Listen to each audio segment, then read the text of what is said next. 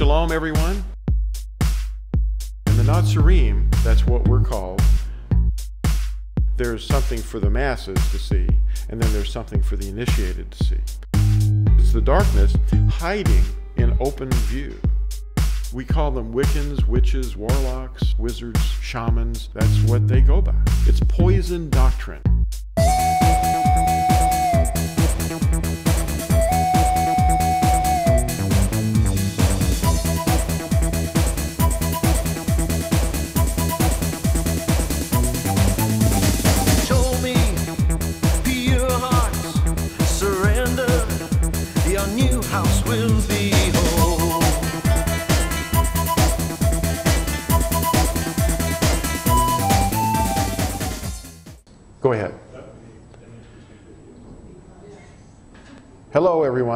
My name is Lew White. Today we're going to discuss something that's extremely important. It's about the real final solution. Uh, I've only read this once, so actually I designed it, but I'm not really uh, that familiar with these things as I go, so I'm going to use this as a kind of a teaching tool. And um, I can see everything here that you're seeing up there. Anyway, I'd like to start today with um, a little uh, Pentecostal action, you know, speaking in tongues, where we're going to use the disciples' prayer, which they usually call the Lord's Prayer, and we're going to replace some of the words with the actual Hebrew words. And you can understand them even if I don't explain what the words mean. Our Father, who is in Shamayim, Kodesh be your name. Your kingdom come. Your will be done on earth as it is in Shamayim.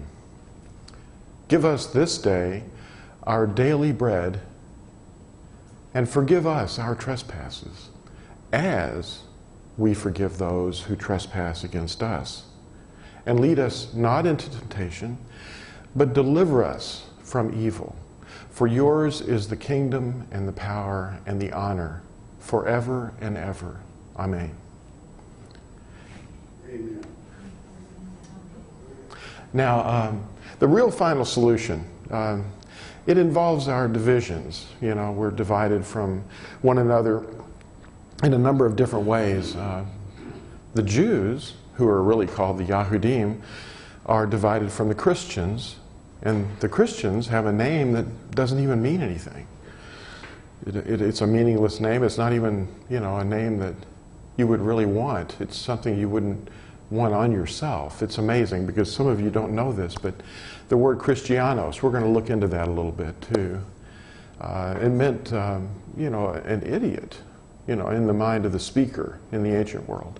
Now it means a follower of Christ. But we're going to use the real Hebrew words, and then we'll have meaning and depth to what we're understanding. We're not going to go through Greek. We're going to actually go from English straight back to the Hebrew and articulate the real meaning it's without filtering it. Not to be angry or hateful, but we could just bypass a lot of the nonsense. Anyway, what do we look like to Yahuwah himself when we are divided? The high priestly prayer in the book of John, or Yahukanan, in chapter 17, he said that we would be kept as one in his name if we were to keep, if we were to stay in his name. We've departed from his name and, and articulated a different name. The walls have ears, they say. In this room, the real name of the Messiah is going to be spoken. And just a few blocks down the road, there's a, a building where tens of thousands of people meet every week. And the name, as far as I know, has never been uttered in those walls. Those walls have never heard this name. But we're going to say it right out loud. Do we bite and devour one another? Yeah, absolutely. And I'm not be, trying to be hateful. I'm not biting or devouring people who, who you know, don't have the knowledge. Not that I have the knowledge. I mean, it was given to me. I can't claim that I originated anything. Neither, neither can any of us. But how is Yahusha going to reunite us into one tree? We read about this in Ezekiel or Yehezkel, chapter 37. Um, the tree that he's talking about is the division of those that are in captivity, that are divided up, And they, we call them Jews, and they call us the uncircumcised or Gentiles. Well, the Gentiles and the Yahudim are going to be reunited and not be two trees anymore, but be one tree in his hand. That's what this little symbol means right here. Israel is the tree that is going to wind up being there. And the house of Yehuda and the house of Israel will be one tree in his hand.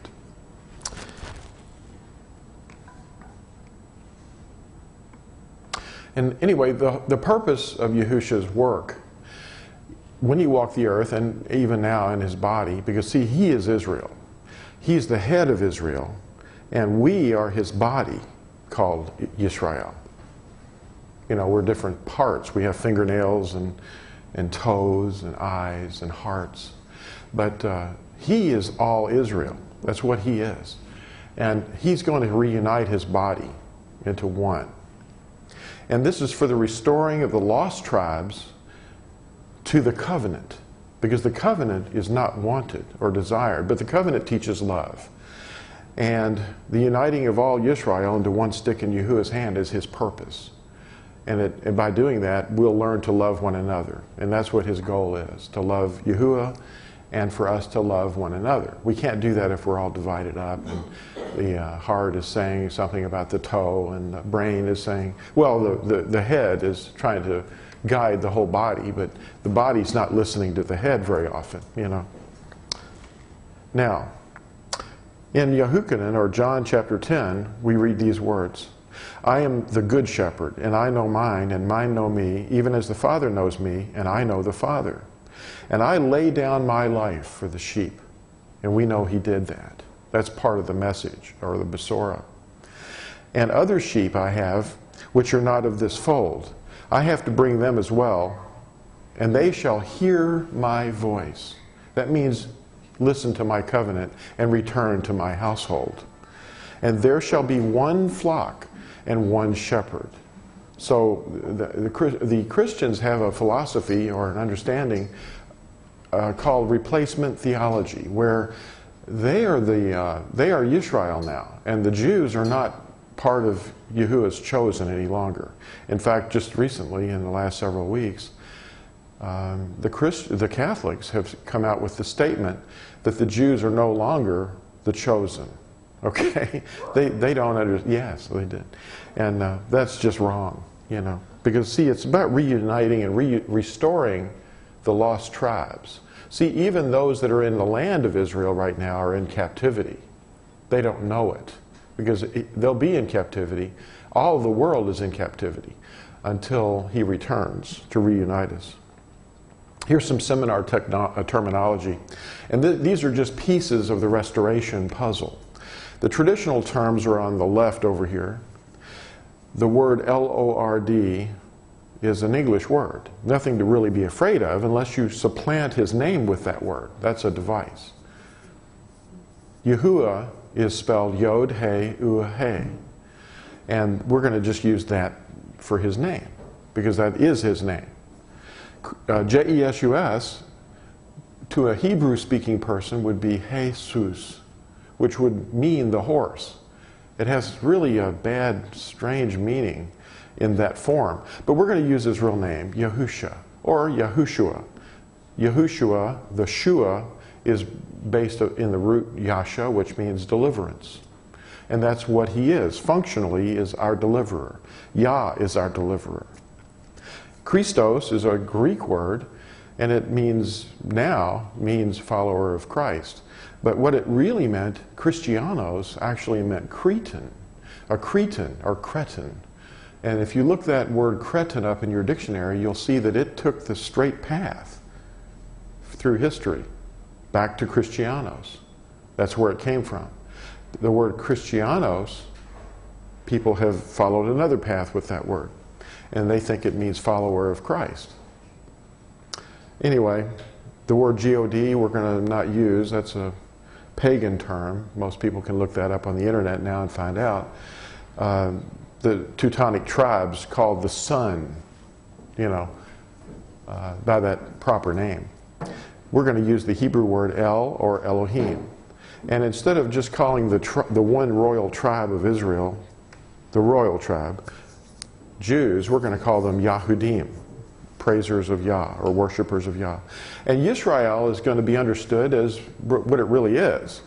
And that's all the tribes that are descended from the man Yaakov, whose name was changed to Yisrael, most of whom are these descendants are unaware of who they really are. They're the prodigal son.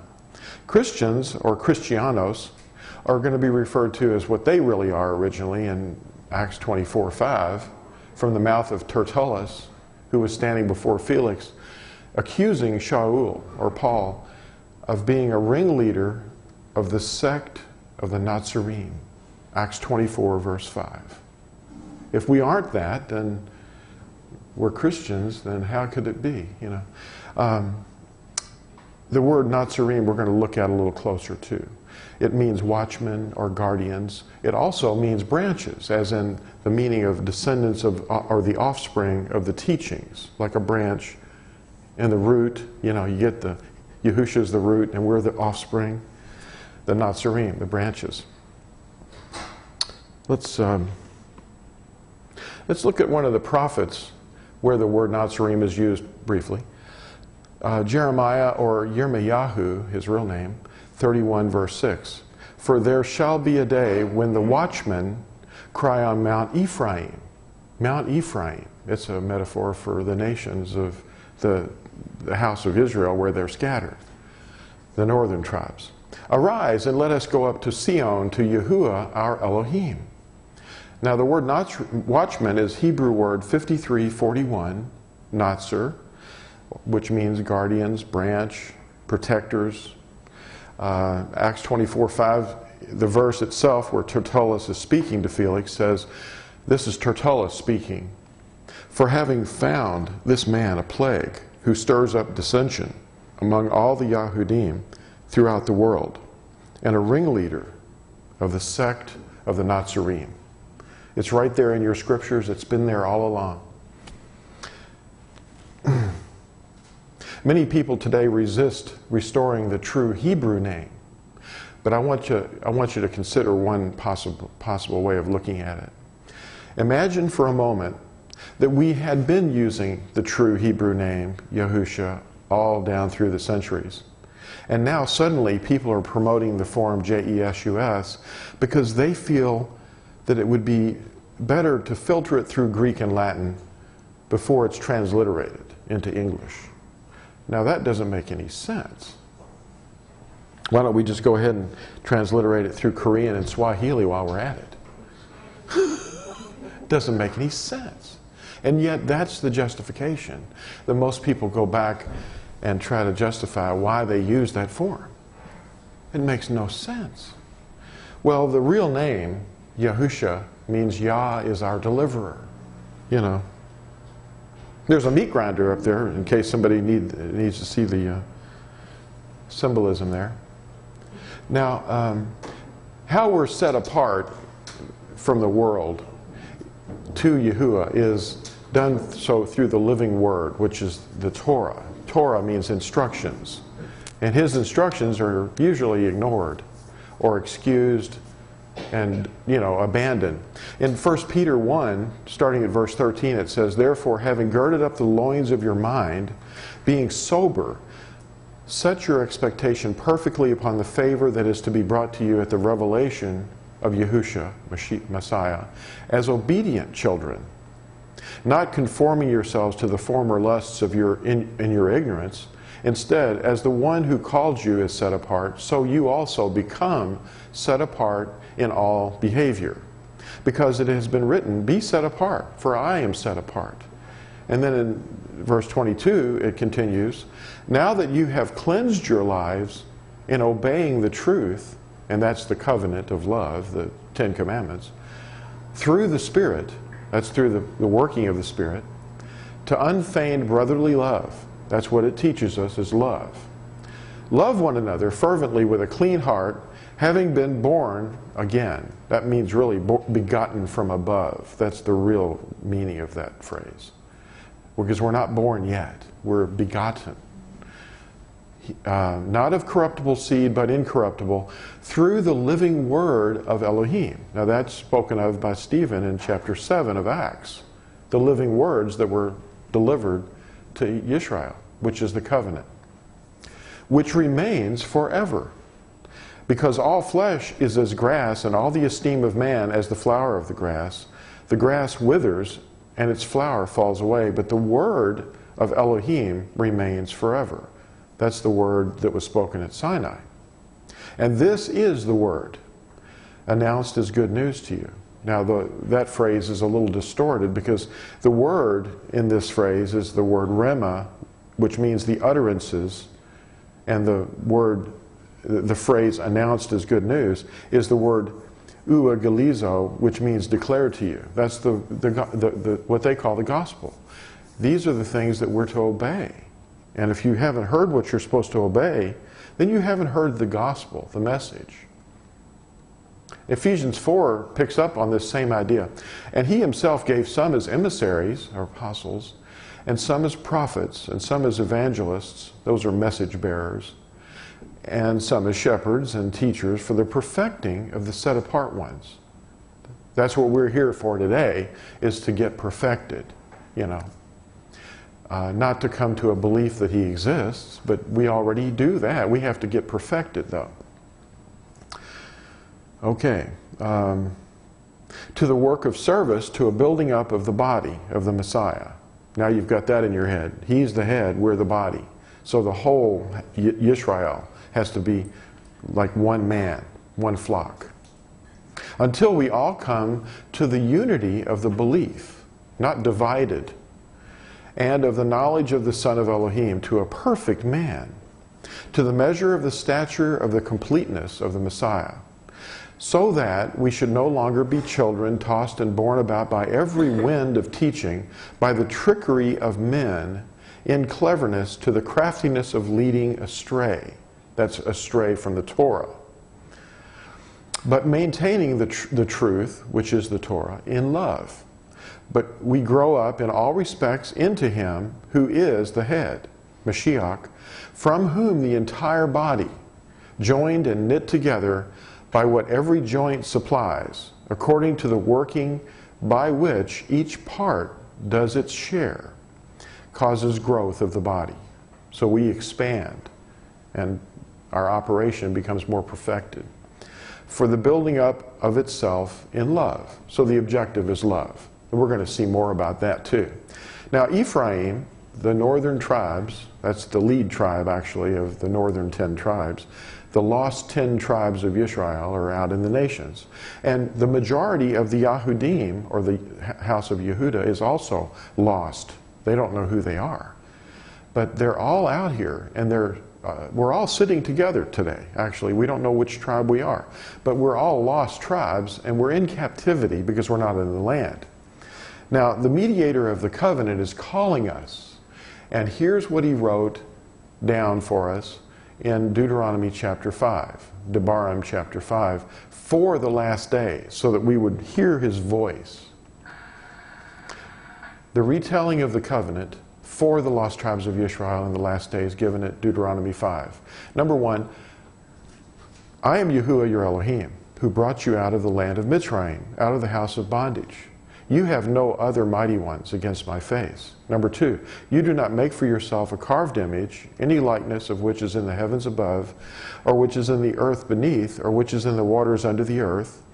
You do not bow down to them nor serve them, for I, Yahuwah your Elohim, am a jealous El, visiting the crookedness of the fathers upon the children to the third and fourth generations of those who hate me, but showing kindness to thousands to those who love me and guard my commands. The children in this phrase is the children of Israel. Number three, you do not cast the name of Yahuwah your Elohim to ruin, for Yahuwah does not leave him unpunished who casts his name to ruin. The word cast is the Hebrew word nasa, which means to throw. And the word ruin is the Hebrew word shoah, which means to utterly lay waste. They lay waste his name all the time, the translators. Um, number four, guard the Sabbath day to set it apart as Yahuwah your Elohim commanded you. Six days you labor and shall do all your work, but the seventh day is a Sabbath of Yahuwah your Elohim.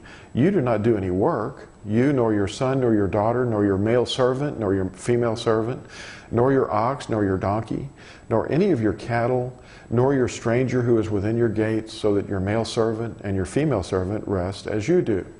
And you shall remember that you were a slave in the land of Mizraim, and that Yahuwah your Elohim brought you out from there by a strong hand and by an outstretched arm.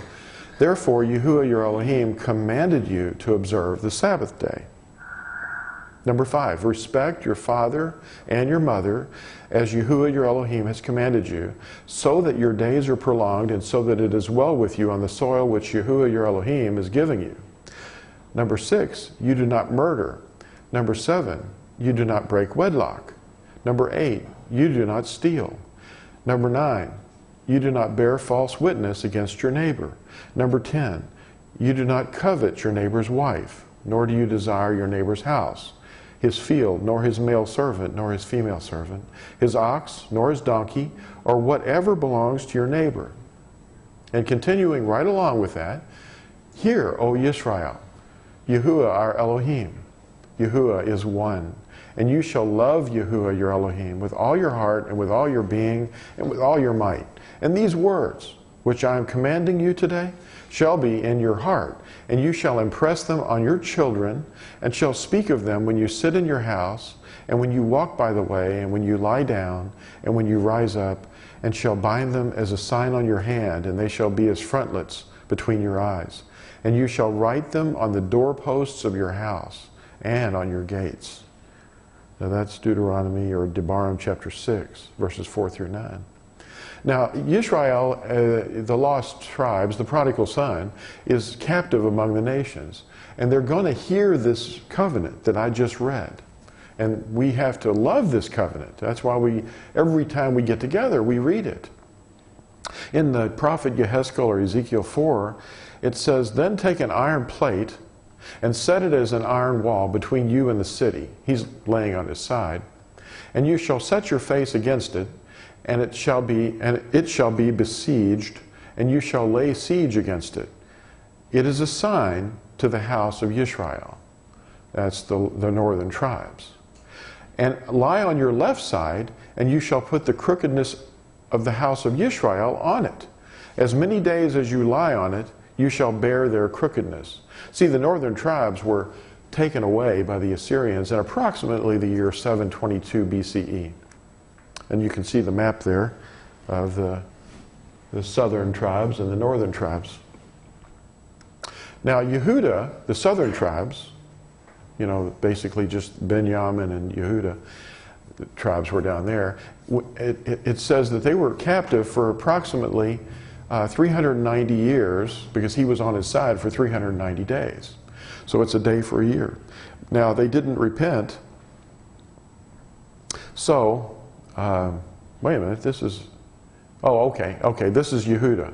Because Israel was captive for 390 year, uh, years times seven, because Leviticus 20, uh, chapter 26 says if they don't repent, then you have to make the, the, the, the curse or the judgment sevenfold.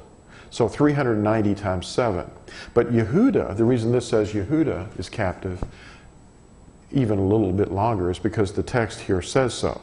You have to add 40 years to that. So while Israel, the, the, the Ephraim, the lost tribes of the 10 tribes are coming back to the covenant in the nations, it'll take 40 more years for Yehuda to do it. Ezekiel 4 6 and when you have completed them, that's the 390 days, you shall lie again on your right side and shall bear the crookedness of the house of Yehuda 40 days. A day for a year, I have laid on you a day for a year. So the house of Yehuda is going to be in captivity 2,730 years from the time that northern, the northern tribes are taken into captivity. And then you have to add 40 more years for the house of Yehuda.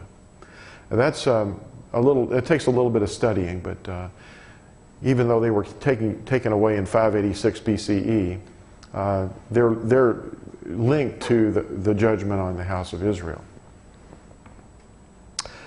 Daniel and Yehezkel, or Israel, uh, Ezekiel, in Babel 70 years. Now, Daniel was taken away as a young boy, and I believe he was made a eunuch. That's why he didn't have a wife uh, at all during his lifespan. But um, we know that Daniel was able to discern the length of time the house of Yehuda would be in captivity in Babylon or Babel he read the prophet Yirmiyahu, or Jeremiah, in 25. And all this land shall be a ruin and a waste, and these nations shall serve the sovereign of Babel 70 years. It was very clear. And it shall be when 70 years are completed that I shall punish the sovereign of Babel and that nation, the land of the Chaldeans, for their crookedness, declares Yahuwah, and shall make it everlasting ruins. Now, the house of Israel, the ten tribes, at the time of Daniel and Yehezkel, the house of Israel had already gone into captivity. The house of Yehuda, at most, when they, the 70 years were completed, 10% of them, at most, maybe some say 5%, came back. The other 90 to 95% remained there and assimilated and became the nations. They became Gentiles. So all the tribes of Israel, all the tribes, are among the nations. And he's calling us back now. They too must repent and return to the household of faith, the Torah. Now, a final solution mathematically. Uh, we read in Leviticus what or Vayikra 26, it declares a penalty for not repenting after receiving correction. So the 390 years, remember Ezekiel was on his side for 390 days, well, a day for a year is multiplied by 7, making the captivity of the house of Israel 390 times 7, or 2,730 years. Uh, that doesn't mean that they're going to be brought back to the land necessarily at that moment, but it means that they're, they're able to return to the covenant. So that, that happened around 2008 to 2010. You know, that's roughly where we're at. So we're starting to see it. A remnant of the house of Israel, that's the ten tribes, is now repenting among the nations. Now, if we express the prophecy mathematically for the house of Yehuda, that's the two tribes in the south, it should be, or could be, 390 times 7 plus 40 years. As the remnant of the house of Israel repents among the nations, it seems likely that it would take 40 years more for the house of Yehuda to realize what is happening and become jealous of the Gentiles who are observing Yahuwah's Torah. Loving obedience, that's what we do. We love to obey. And calling upon the name that they won't even pronounce yet. They're afraid of the name, or they're afraid somebody might hear it. At the time their additional 40 years is over, that's the house of Yehuda, the prophecy at Yeshayahu 11 becomes a reality. In Yeshayahu or Isaiah 11, it says, And it shall be in that day that Yahuwah sets his hand again a second time to recover the remnant of his people who are left from Asher and from Mitzrayim and from Pathros and from Cush, from Elam and from Shinar, from Hamath, and from the islands of the sea. And that would include, of course, the United States and Australia and Great Britain and the Philippines, everywhere. And he shall raise a banner for the nations and gather the outcasts of, of Israel and assemble the dispersed of Yehuda. See, he makes these two distinctions from the four corners of the earth. And the envy of Ephraim shall turn aside, and the adversaries of Yehuda be cut off. Ephraim will no longer or shall not envy Yehuda, and Yehuda not trouble Ephraim. So he's going to make them one stick. They won't be divided anymore. Israel will then become one tree or stick. The word is etz in Hebrew, in Yahuwah's hand, and the day of Yahuwah will be in full force upon the nations. So the judgment will be being poured out at this point too. In the book of John, or Yehukanan, chapter 10, uh, we're repeating that same text we heard earlier. And other sheep I have, which are not of this fold, I have to bring them as well, and they shall hear my voice. That's his covenant. and there shall be one flock and one shepherd. And that's, uh, we have the notes here below Ezekiel or Yehezkel 34, verse 23, and 37, verse 24. In the prophet Zechariah or Zechariah 12, we read these words In that day I make the leaders of Yehuda like a fire pot among trees, and like a torch of fire in the sheaths. And they shall consume all the peoples all around, on the right and on the left. And Jerusalem shall dwell again in her own place, in Jerusalem. And Yahuwah shall save the tents of Yehuda first, so that the comeliness of the house of Daud and the comeliness of the inhabitants of Jerusalem shall not become greater than that of Yehuda. In that day, Yahuwah shall shield the inhabitants of Jerusalem. He's going to use an, uh, you know, a, a, a miracle to shield them. And the feeble among them in that day shall be like Daud. Daud was a real serious dude. And the house of Daud like Elohim, like the messenger of Yahuwah before them. And it shall be in that day that I, shall, that I seek to destroy all the nations that come against Jerusalem. And we know that they're all poised to attack it at any second. Everything that can be shaken will be shaken when Yahuwah shakes the earth and the heavens. And these, uh, this man named Haman that you read about that hated the Jewish people, um, his spirit is still in men. You'll see it in Adolf Hitler and Arafat and, you know, these world leaders. They, they hate the, uh, the, the, well, they hate Israel. And uh, a lot of these people are already gone. There's still a few that still ahead of us and that remain today. In Yael, or Joel 3, we read these words Sun and moon shall become dark, and stars shall withdraw their brightness, and Yahuwah shall roar from Sion and give forth his voice from Jerusalem, and the heavens and earth shall shake. But Yahuwah shall be a refuge for his people, and a stronghold for the children of Israel. Then you shall know that I am Yahuwah your Elohim, dwelling in Sion, my set apart mountain, and Jerusalem shall be set apart, and foreigners shall not pass through her again. Proverbs 12 says, The wrong are overthrown and are no more but the house of the righteous stands. Yeah, where are these guys? Where is he to be found? These, these people are gone.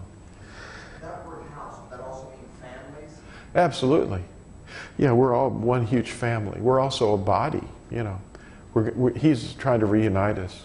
Now, our uh, commission, our co-mission with Yahuwah is our order to teach righteousness uh, the righteousness of Yahuwah, not the righteousness of men.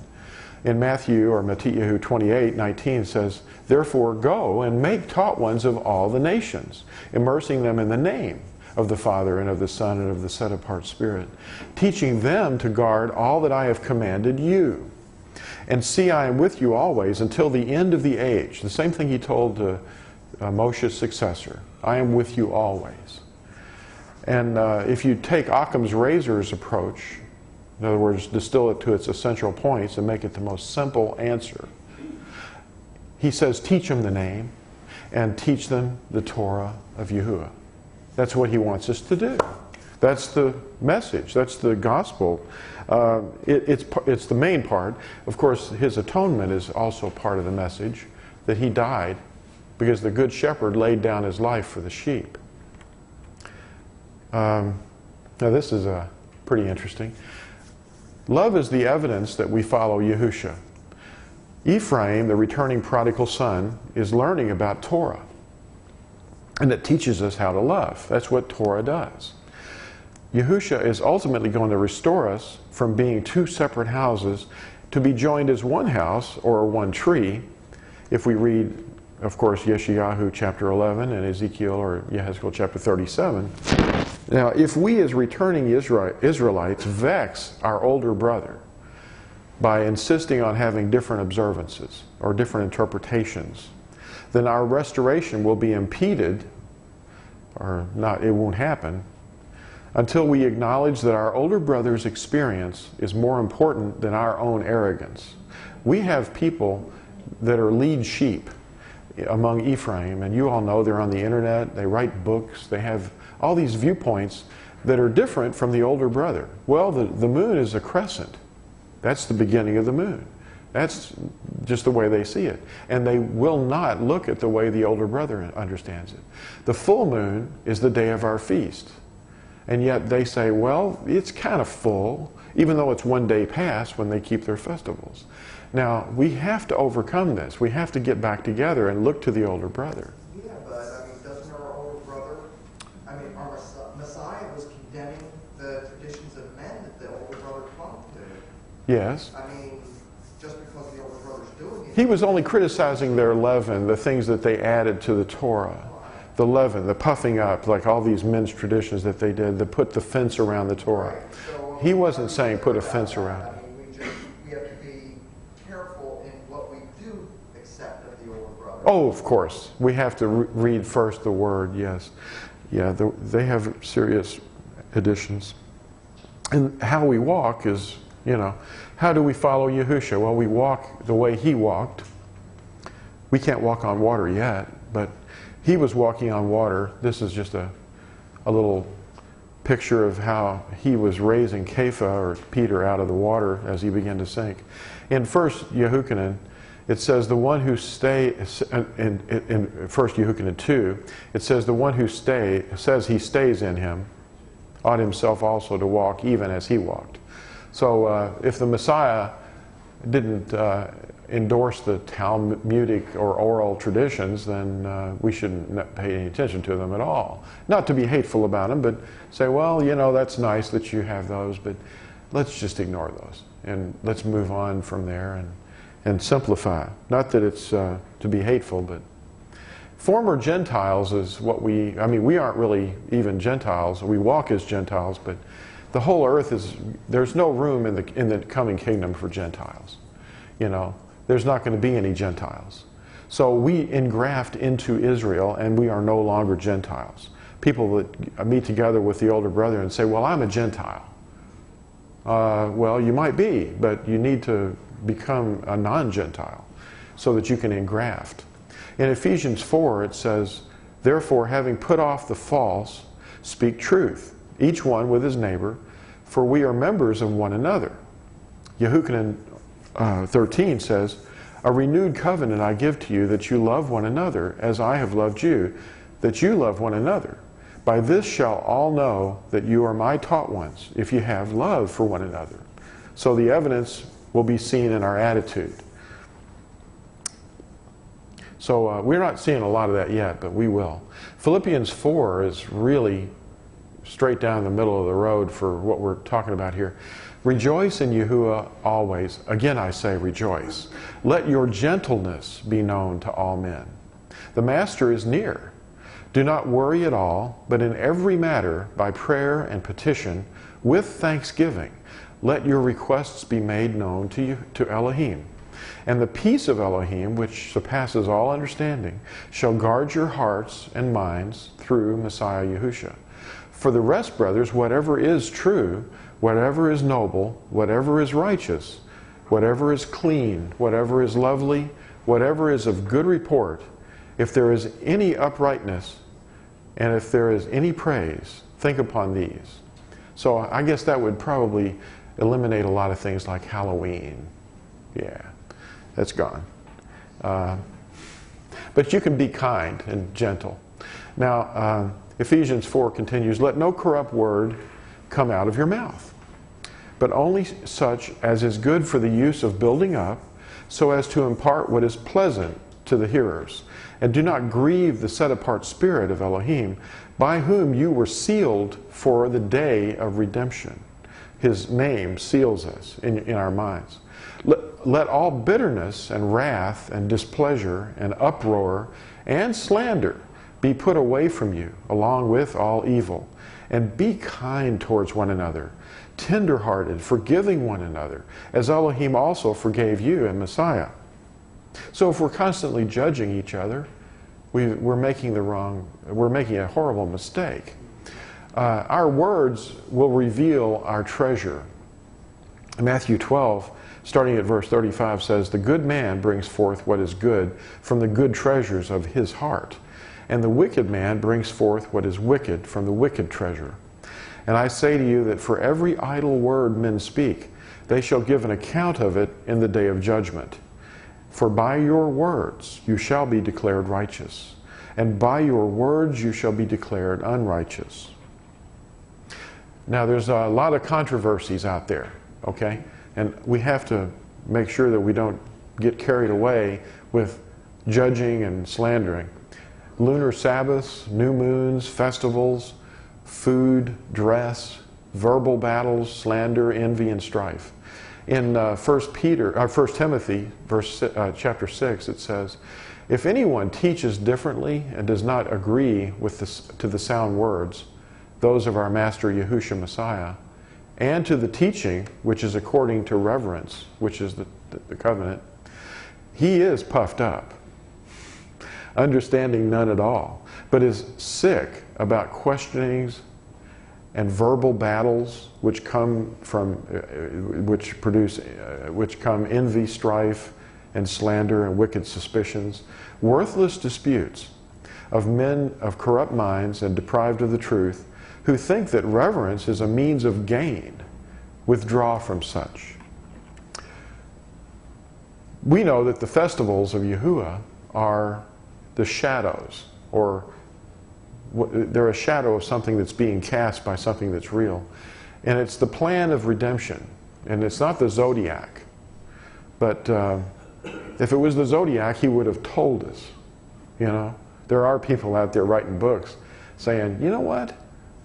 The message is in the zodiac, and we've not seen it. It's right there. Mm-hmm. That's another one of those verbal battles. I don't want to get into that, but. Uh, anyway, they do, inv- verbal battles often involve the festivals. Uh, second, uh, Colossians 2 says, Let no one, therefore, judge you in eating or in drinking, or in respect of a festival, or a new moon, or Sabbaths, which are a shadow of what is to come for the body of Messiah. Now, the word for is a better understanding. It's the Greek word day, which means, it could mean but but it means also for, you know. It's part of the definition. And those were the seven festivals. Now, there's an abundance of verbal battles. I just want to show you some of them, but we don't want to engage in any of these. But we want to be patient as we teach the, the people who are misunderstanding these things. There's people that get in verbal battles over the name of the Creator. How do you say it? There's four letters. How can it be so hard? Really, there's only three letters. One of them is repeated. They get in arguments about new moons. Is it a crescent, like the Islamic people always follow, or is it a dark moon? The lunar Sabbaths, which just suddenly appeared out of nowhere. It never was ever anywhere in history, and suddenly it's everywhere. Uh, when is the morning? It, it, I mean, when does the day begin? Does it begin in the morning, or does, it begin in the evening? Well, it's when it, the day ends that a new day begins. It says it in Genesis or Bereshit chapter 1. Is the full moon, uh, is it the new moon or is it the full moon? Is the, you know, they don't know. See, some people think the new moon is the full moon. Uh, how to observe a Sabbath. There's a lot of arguments about that. Beards, how long do they have to be? Uh, head coverings and tzitzith. These are the tassels that the woman touched. Remember on Yahusha that healed her? Uh, the leaven of the Pharisees, the Talmud, the oral law. What, what's to, what are we to do with it? Um, how about the, the, recently? It's been really uh, debated and disputed verbal battles over the racial makeup of who true Yisrael really is, or alcohol and dancing. You know, there's all kinds of things. I mean, this is just a small part, of, uh, a few things. Now, here's a text that advises us to overcome verbal battles so that we can become vessels of value, okay? 2 Timothy 2 says, If then anyone cleanses himself from these matters, he shall be a vessel unto value, having been set apart of, of good use to the master, having been prepared for every good work. And flee from the lusts of youth, but pursue righteousness, belief, love, peace, with those calling on the master out of a clean heart.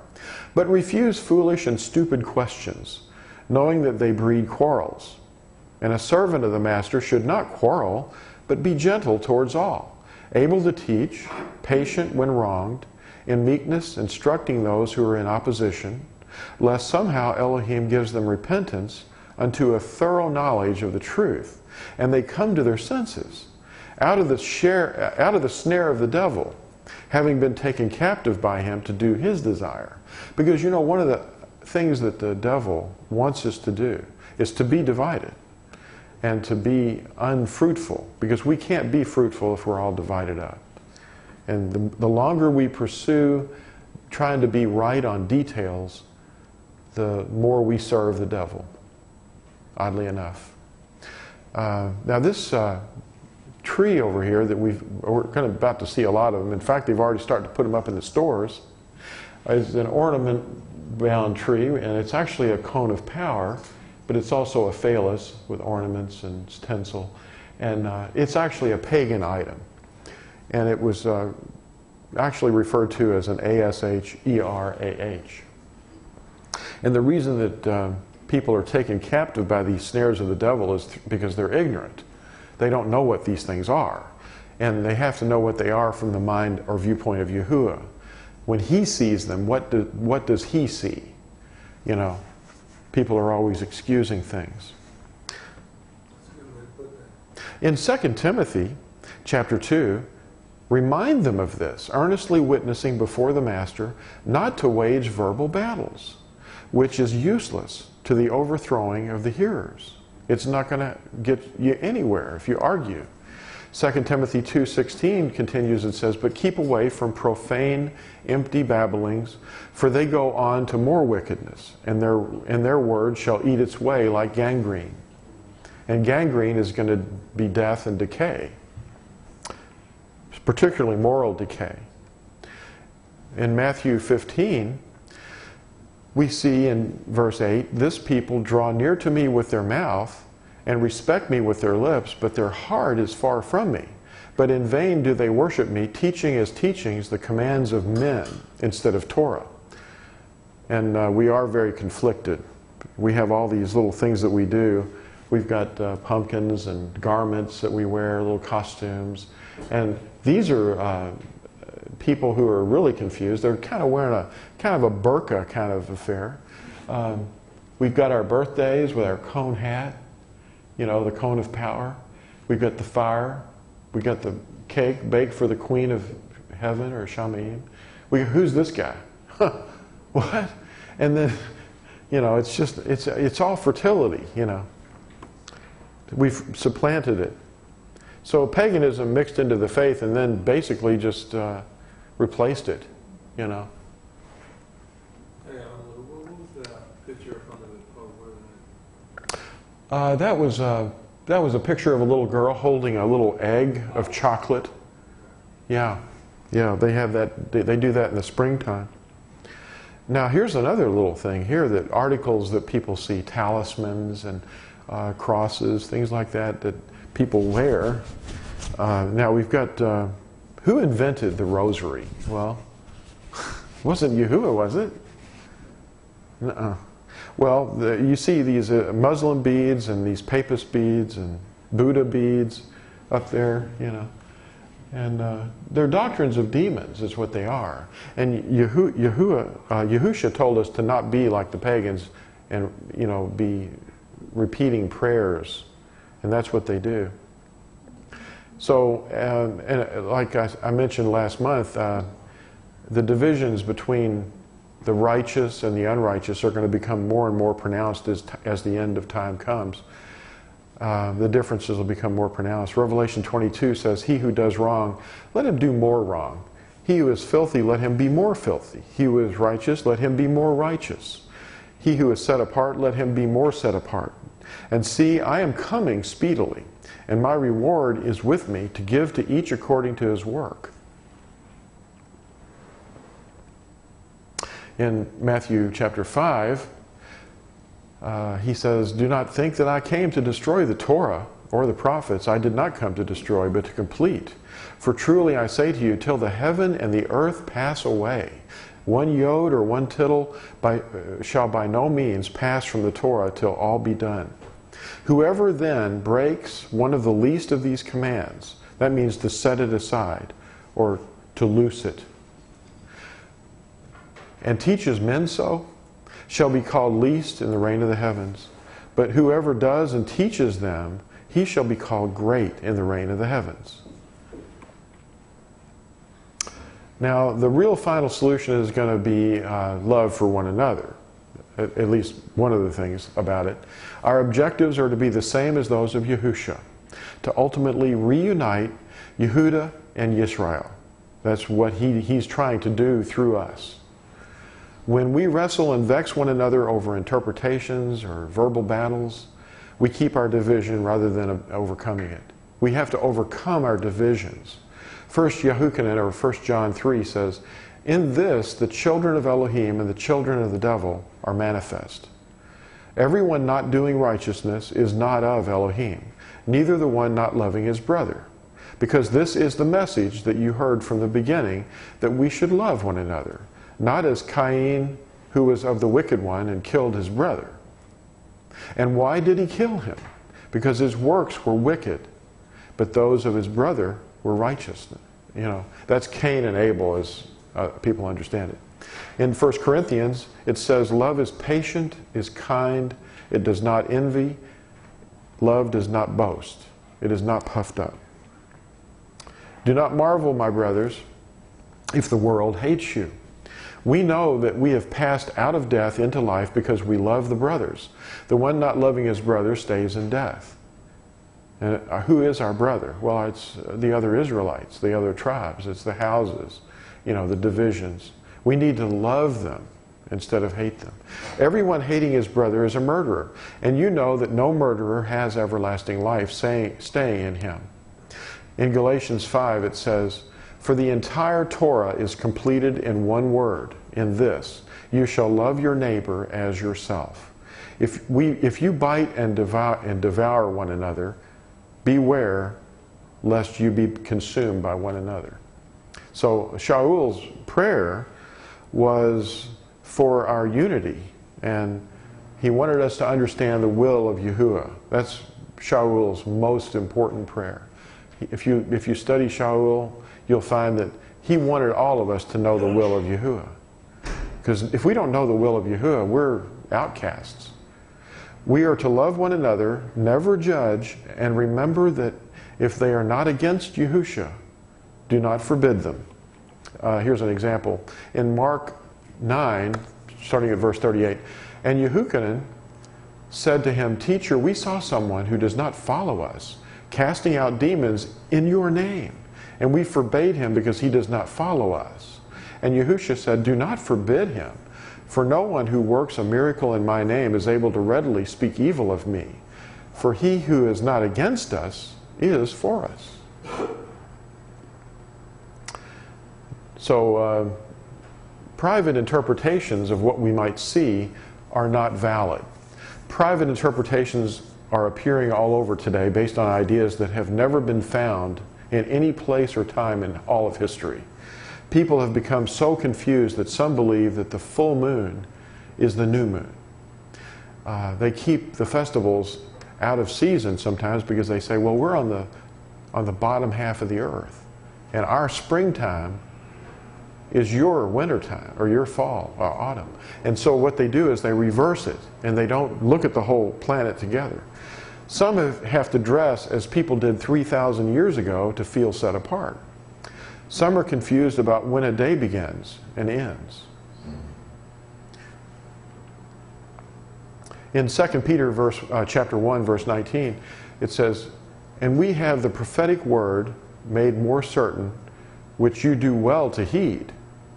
What is the prophetic word? Well, it's a, it's a light that shines in a dark place until the day dawns and the morning star rises in your hearts. Knowing this first, that no prophecy of Scripture came to be of one's own interpretation. For prophecy never came by the desire of man, but men of Elohim spoke, being moved by the set apart Spirit. Now, this is interesting over here, too. The, uh, in Romans 12, it says, And do not be conformed to this world, but be transformed by the renewing of your mind, so that you prove what is that good and well pleasing and perfect desire of Elohim. So, the will of Elohim is on Paul's mind all the time. He wants us to know the will or the desire of Elohim. Now, some judge one another on how we spell words. when doctrinal divisions occur, it's usually a small number of people who focus on one issue. You know that's true, like the New- lunar Sabbath people. They, they want you to just listen to one thing, uh, such as the transliteration of the name or the way we observe Yahuwah's festivals. The lunar setting of the weekly Sabbaths came out of nowhere and certainly not Yahuwah's word and yet it has continued to grow and divide the body of Yahusha. He is ultimately going to reunite Yehuda and Yisrael, and there's no way some of these new teachings that have never existed will be accepted by the older brother. We have much to learn from the house of Yehuda, not the other way around. It's, it's only the yeast that we have be, to, be aware, to be aware of. So, um, we're not slave masters, but uh, we're learners. We're all students. Yes, sir.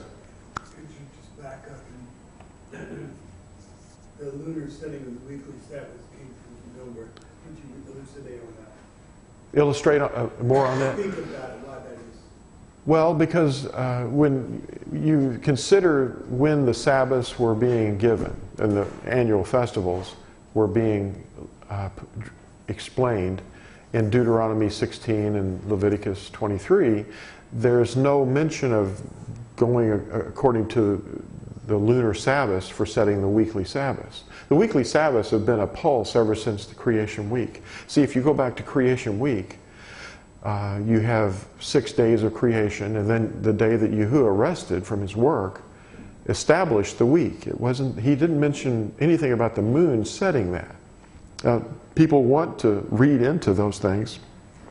The moon was created on the fourth day, but it wasn't part of that week in, in, in terms of uh, setting the week itself. And that pulse has been seven days. In fact, every culture on the whole earth has reflected a seven day week. Chinese people, uh, apart, even if the Hebrews had wanted to change it at some point, the uh, rest of the world that were pagans would still have the seven day week.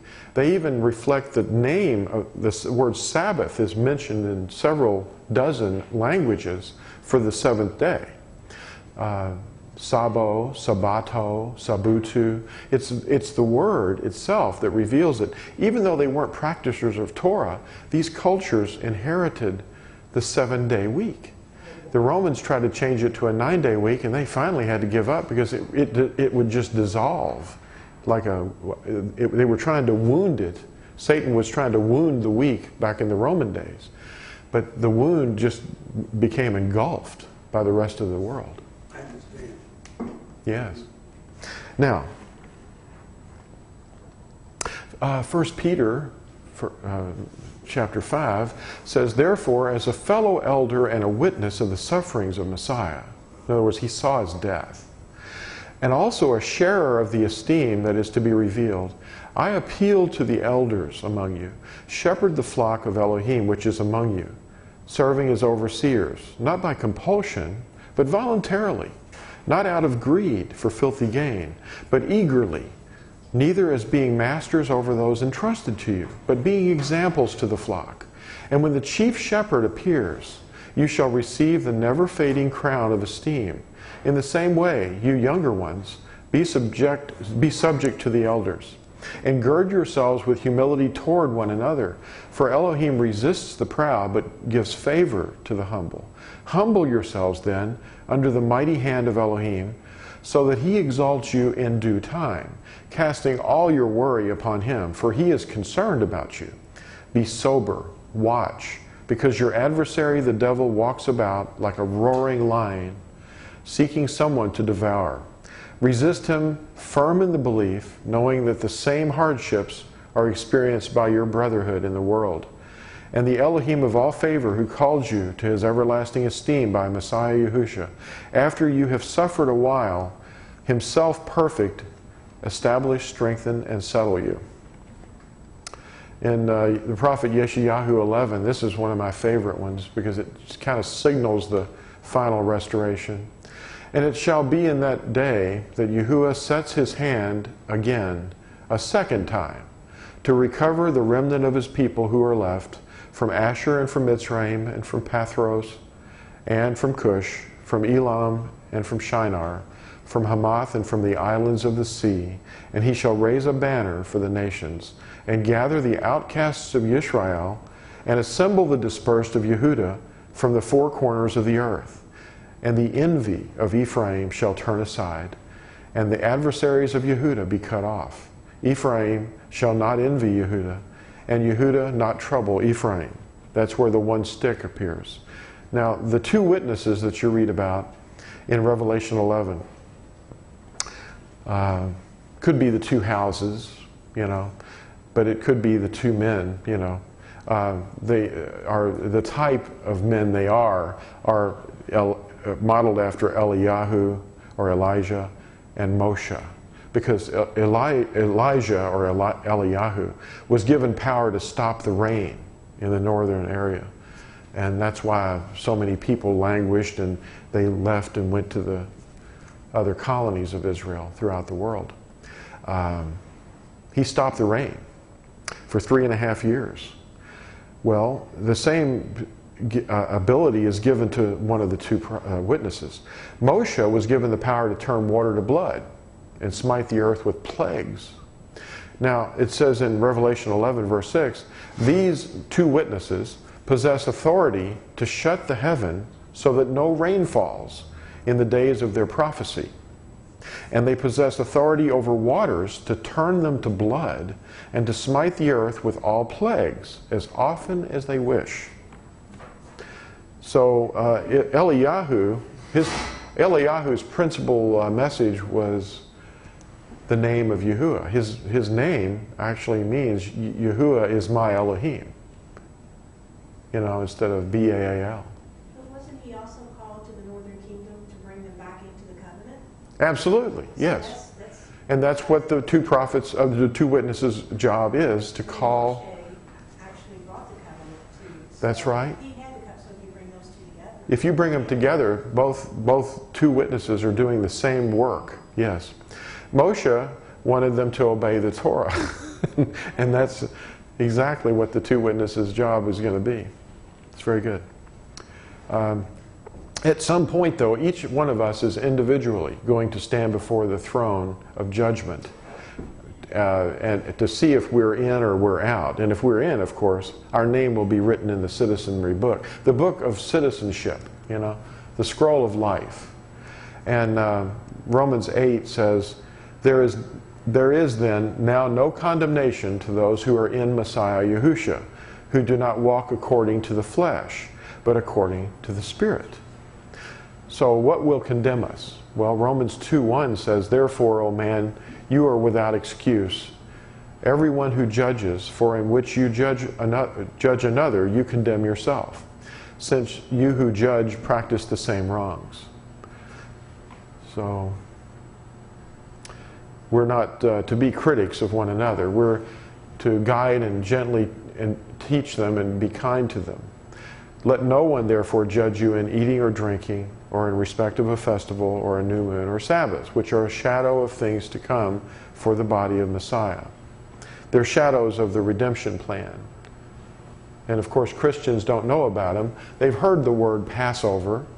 They probably have heard the word first fruits and unleavened bread, but they don't practice those. They just have heard the words. They don't know how they fit into their lives.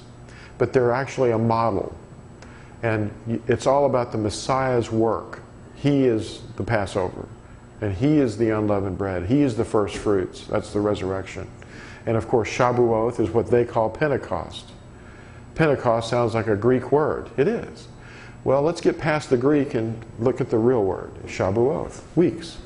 That's when the Ten Commandments were given. Wonder what that's about. Well, you know, and then the fall festivals. You know, you've got uh, booths You know, you've got the day of uh, the day of the shout, Yom Teruah, the first day of the seventh month. You've got the tenth day, Yom Kafar, the day of the covering. And then you've got Sukkoth, which is the day of what we call tabernacles or booths. And we're going to read about that a little bit too, because it's part of the final solution. Because Yahusha is doing it all. Forgive one another. Luke 6 says, And do not judge, and you shall not be judged at all. Condemn not, and you shall not be condemned at all. Forgive, and you shall be forgiven. That's like the disciples' prayer. In James, or Yaakov, 4, brothers, do not speak against one another. He that speaks against a brother and judges his brother speaks against Torah and judges Torah. And if you judge Torah, you're not a doer of Torah, but a judge. Remember how you were how you are deceived. This is the way deception happens. Adding to the Torah or taking away from the Torah. And the way that we're restored and my people upon whom my name is called shall humble themselves and pray and seek my face and turn from their evil ways. Then I shall hear from the heavens and forgive their sin and heal their land. That's Second Chronicles. So we remo- re- renew our mind with truth and turn away from false teachings.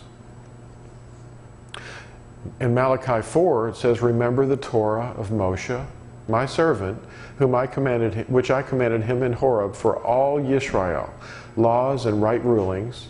See, I am sending you Eli- Eliyahu the prophet before the coming of the great and awesome day of Yahuwah. And he shall turn the hearts of the fathers to the children, and the hearts of the children to their fathers, lest I come and smite the earth with utter destruction. Now, of course, the hearts of the fathers, in one interpretation, could be the fathers, like Abraham, Yishak, Yaakov, and Moshe.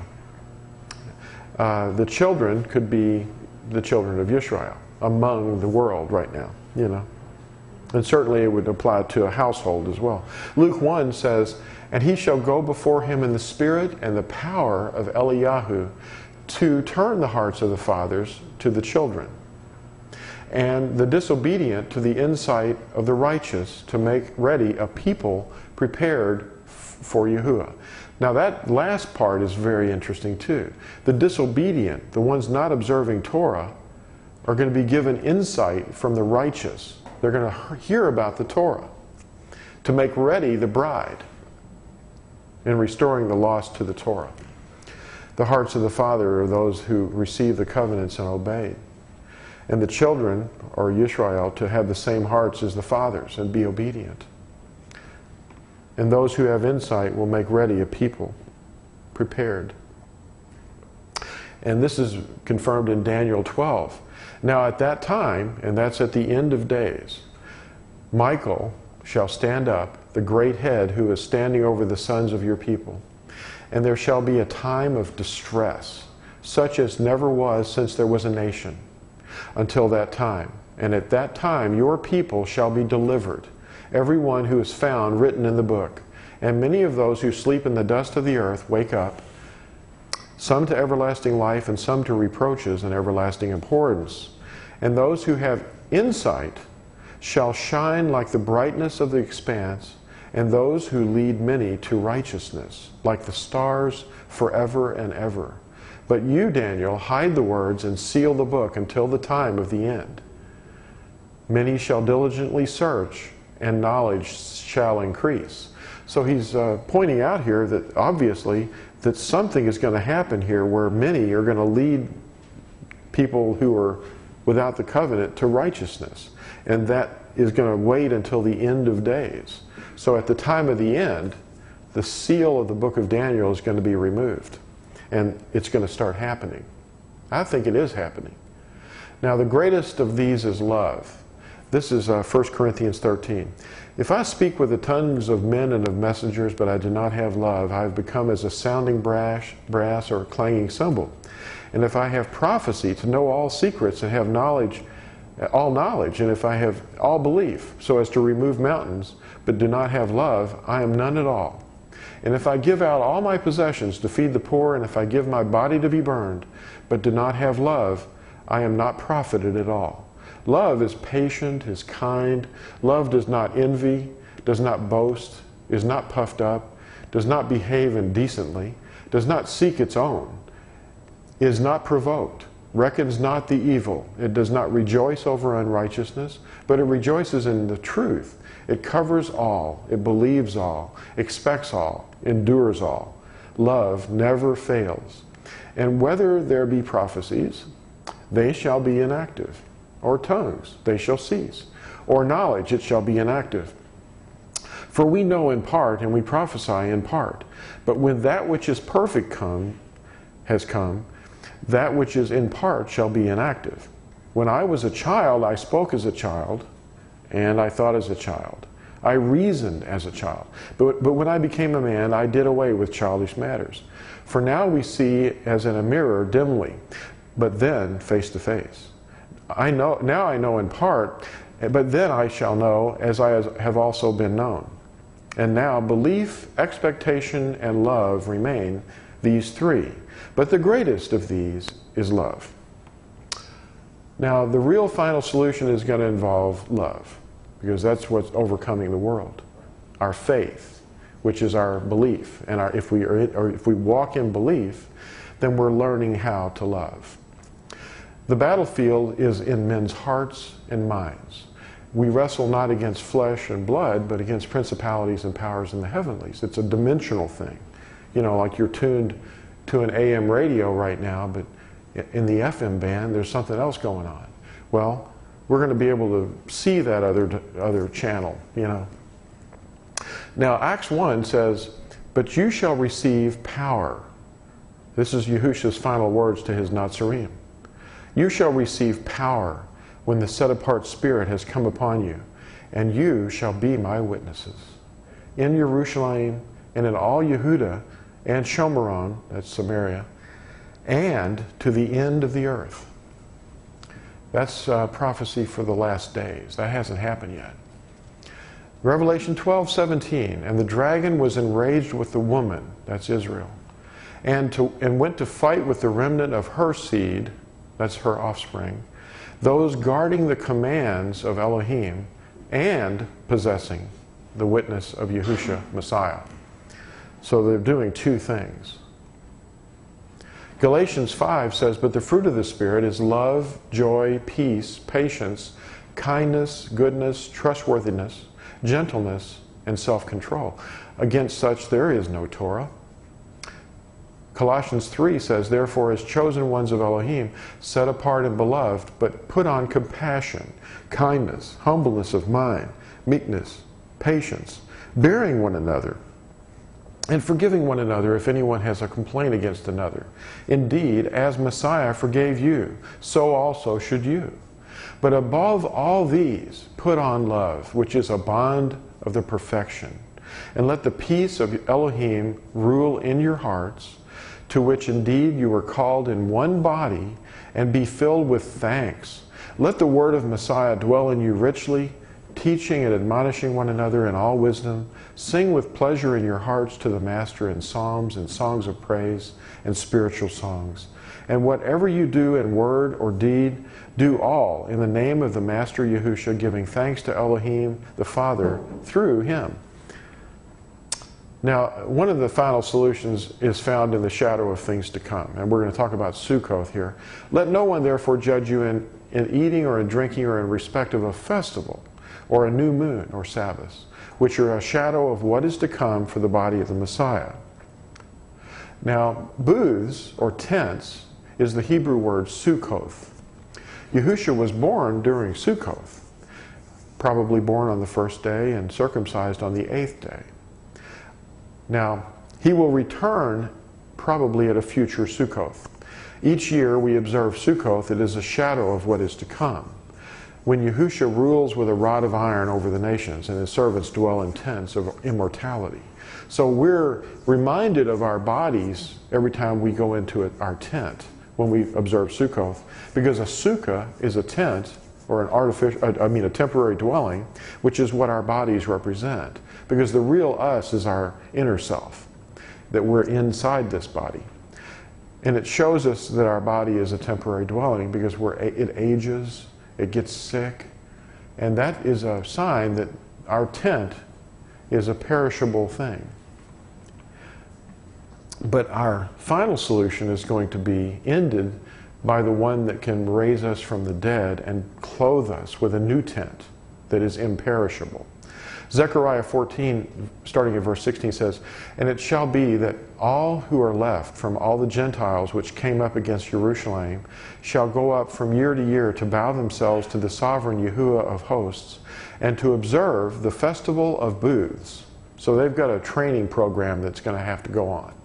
And it shall be that if anyone of the clans of the earth does not come up to Jerusalem to bow himself to the sovereign Yahuwah of hosts, on them there is to be no rain. And if the clan of Mitzrayim does not come up and enter in, then there is no rain. On them is the plague which Yahuwah plagues the Gentiles who do not come up to observe the festival of booths, the festival of Sukkoth. This is the punishment of Mitzrayim and the punishment of all the Gentiles that did not come up to observe the festival of Sukkoth or booths. And speaking of tents in second or yeah, 2 Corinthians chapter 5, for we know that if the tent of our earthly house, that's our body, is destroyed, we have a building from Elohim, a house not made with hands, everlasting in the heavens. For indeed, in this we groan, longing to put on our dwelling, which is from the heaven, so that having put, on, put it on, we shall not be found naked. For indeed, we who are in this tent groan, being burdened, not because we wish to put it off, but to be, but rather to put on the other, so that what is to die might be swallowed up by life. Now, he who has prepared us for this same purpose is Elohim, who has given us the Spirit as a pledge of what is to come. Revelation 21 picks up on this same, same theme of booths and I, Yehukanan, saw the set apart city, renewed Jerusalem, coming down out of heaven from Elohim, prepared as a bride, adorned for her husband. And I heard a loud voice from the heavens saying, See, or look, the booth of Elohim is with men, and he shall dwell with them, and they shall be his people, and Elohim himself shall be with them and be their Elohim. And Elohim shall wipe away every tear from their eyes, and there shall be no more death, nor mourning, nor crying, and there shall be no more pain, for the former matters have passed away. This is the best that this, uh, this disciple could say. He saw what was going to be in the future, but he had to use human terms to describe it. At the last Yom Teruah, that's the day of the shout, the first day of the seventh moon, we read this in 1 Corinthians 15. See, I speak a secret to you. We shall not all sleep, but we shall all be changed in a moment, in the twinkling of an eye, at the last trumpet. That's the Yom Teruah. For the trumpet shall sound, and the dead shall be raised incorruptible, and we shall be changed. For this corruptible has to put on incorruption, and this mortal to put on immortality. For when this corruptible has put on incorruption, and this mortal has put on immortality, then shall come to be the word that has been written Death is swallowed up in overcoming. So, Yahusha's work is being seen in his Nazarene. Uh, Yeshayahu 11, we read this earlier. He's going to reunite us. The vexing of Ephraim shall not, uh, you know, occur, and Yehuda won't envy, uh, and so forth. But uh, ultimately death is going to be swallowed up. So that's a real final solution to our problem because we're all dying of the curse from the garden. Death is swallowed up, and Yahusha's life stops death in its tracks. Wherever he goes, he forgives sins and he raises the dead. And a rod shall come forth from the stump of Yishi, that's um, Daud's father, and a sprout from his roots shall bear fruit. He's talking about the sprout being the Messiah. The Spirit of Yahuwah shall rest upon him. The Spirit of wisdom and understanding, the Spirit of counsel and might, the Spirit of knowledge and of the fear of Yahuwah, and shall make him breathe in the fear of Yahuwah. And he shall not judge by the sight of his eyes, nor decide by the hearing of his ears, but with righteousness he shall judge the poor, and shall decide with straightness for the meek ones of the earth, and shall smite the earth with the rod of his mouth, and slay the wrong with the breath of his lips. That's the first thing that happens, by the way. You know, the, he's going to gather the uh, weeds out of the midst of the righteous. And righteousness shall be the girdle of his loins, and trustworthiness the girdle of his waist. And a wolf shall dwell with the lamb, and a leopard lie down with the young goat, and the calf and the young lion and the fatling together, and a little child leads them. And a cow and a bear shall feed, their young ones lie down together, and a lion eats straw like an ox. And the nursing child shall play by the cobra's hole, and the weaned child shall put his hand in the adder's den. They do no evil nor destroy in all my set apart mountain, for the earth shall be filled with the knowledge of Yahuwah as the waters cover the sea. And in that day there shall be a root of Yeshi, standing as a banner to the people. Unto him the Gentiles shall seek, and his rest shall be esteemed. And it shall be in that day that Yahuwah sets his hand again a second time to recover the remnant of his people who are left from Asher and from Mitzrayim, from Pathros and from Cush, from Elam and from Shinar, from Hamath and from the islands of the sea. And he shall raise a banner for the nations, and gather the outcasts of Israel, and assemble the dispersed of Yehuda from the four corners of the earth. And we've said this three or four times already.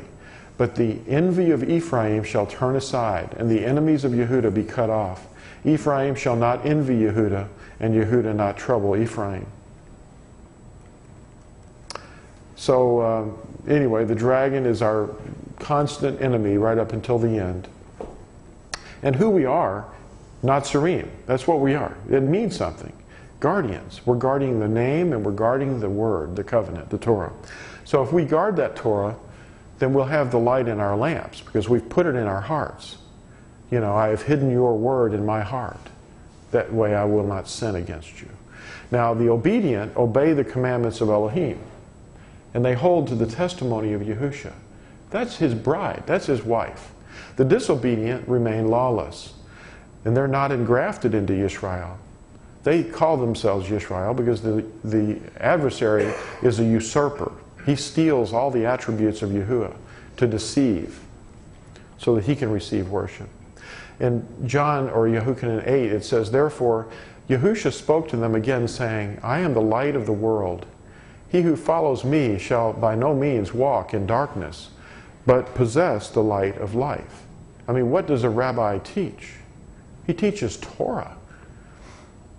Deuteronomy 11, verse 22 says, For if you diligently guard all these commands which I command you, to do it, to love Yahuwah your Elohim, to walk in his ways, and, not, and to cling to him, then Yahuwah shall drive out all these nations before you, and you shall dispossess greater and stronger nations than you.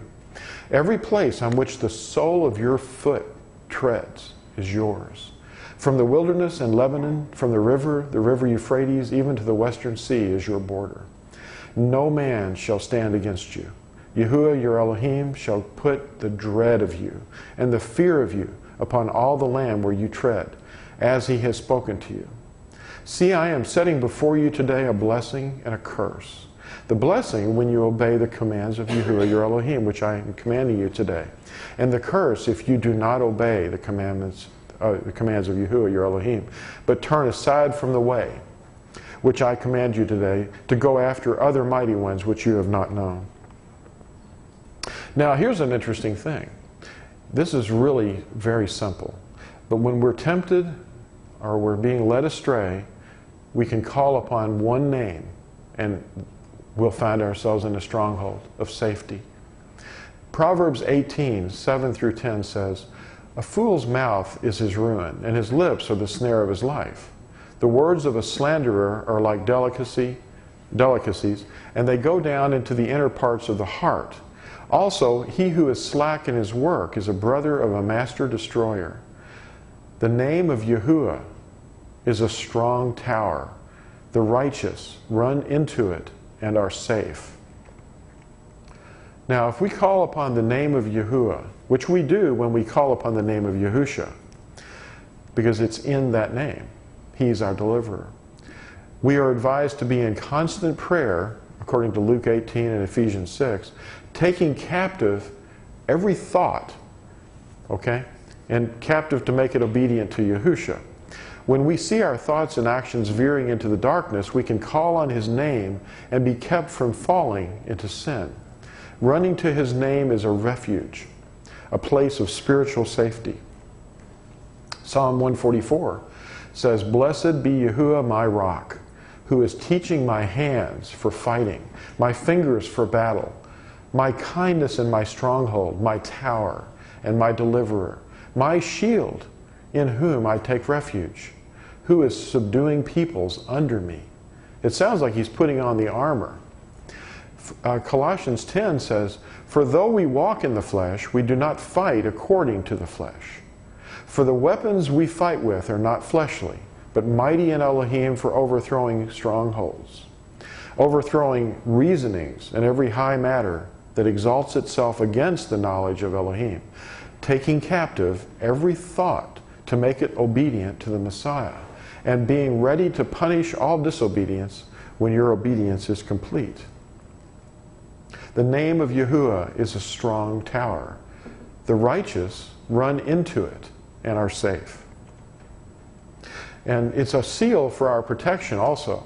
In, in Yahukanan or John chapter 17 in the high priestly prayer, he's, Yahusha's praying and he says, And I am no more in the world, but these are in the world, and I come to you. Set apart, Father, guard them in your name, which you have given me, so that they might be one as we are. And Revelation 14 reflects that. And I looked and I saw a lamb standing on Mount Sion, and with him 144,000 having his father's name written in their foreheads. So the name of our owner is on us. Well, Baruch haba b'shem Yahuwah.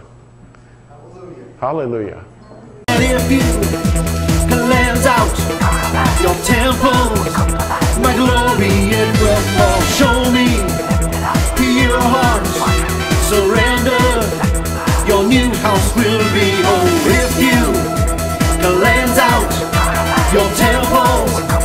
glory will fall. Show me your heart, surrender. Your new house your temple. My glory it will fall. Show me your heart.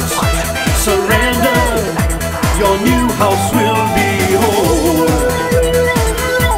Will be